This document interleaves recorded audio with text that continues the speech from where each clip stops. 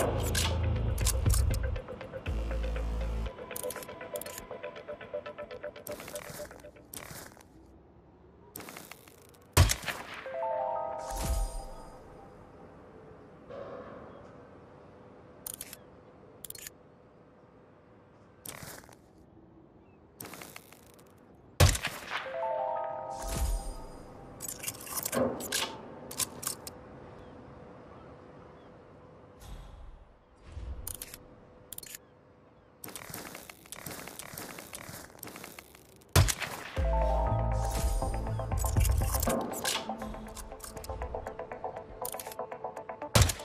Taking out their communications?